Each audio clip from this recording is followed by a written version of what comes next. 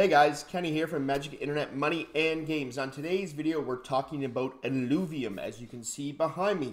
Why am I talking about Illuvium? Well, it is on the Epic Game Store, as you can see behind. Let's get into that.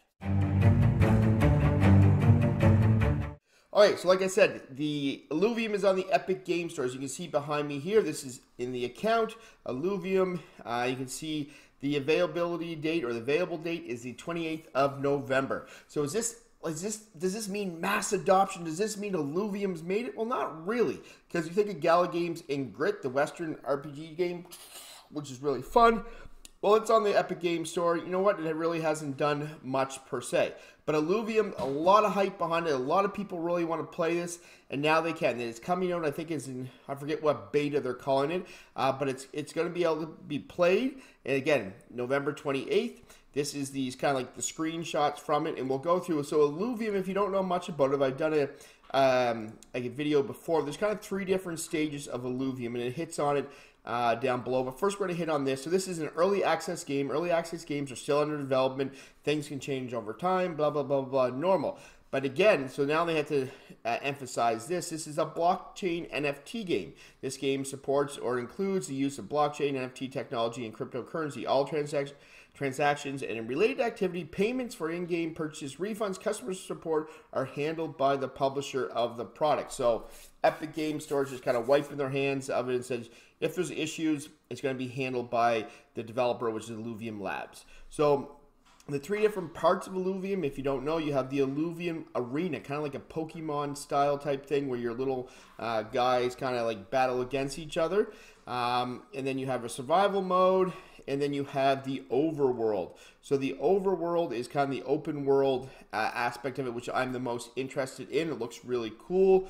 And then you have the illuvials, the ones that you can kind of like can uh, sorry collect uh, over 150 unique creatures with their own class, uh, classes and abilities, and I think they can evolve just kind of like Pokemon, how they can evolve. Again, it's like very close reference to um, Pokemon. So you can obviously uh, explore campaigns, resource crafting, uh, collecting customization of your different skins, which I assume would all be like NFTs and stuff like that. So so here is, this is on the, uh, Illuvium's uh, YouTube channel. So this is just uh, 30 minutes of raw footage for beta number two. That's what we're trying to do last time. So what's coming out is beta number two.